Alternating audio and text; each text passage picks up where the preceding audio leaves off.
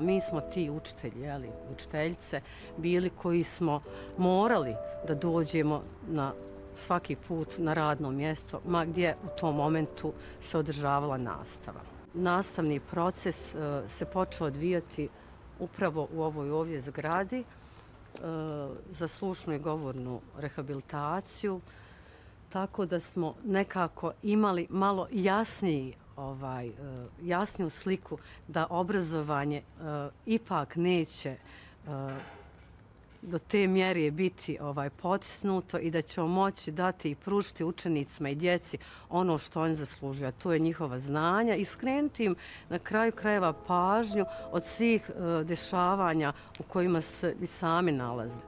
Ne znam kako da objasnim uh, tu snagu koji su učitelji u tom ratnom periodu imali, taj entuzijazam eh, s kojim smo radili, nismo imali nastavnih učila, eh, Snalazli smo se, ali smo uvijek djeci eh, nastojali omogućiti da se osjećaju kao u pravom školskom ambijentu.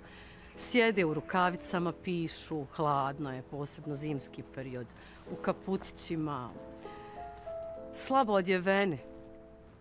Svi, ne samo djeca, nego i mi. Pa prilično, Boga mi, glad nekada. Vrlo često smo znali iščekivati i radovat se kad nam dođu naše teta Fata i teta Dišija da nam donesu mlijeko i te sendviče i uživali smo u toj hrani kao da smo jeli ne znam šta u tom ratnom periodu.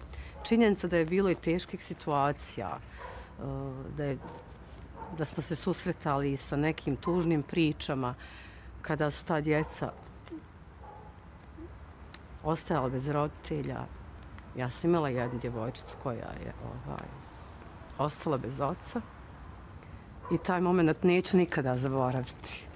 Kad je majka došla da uzme djevojčicu iz razreda.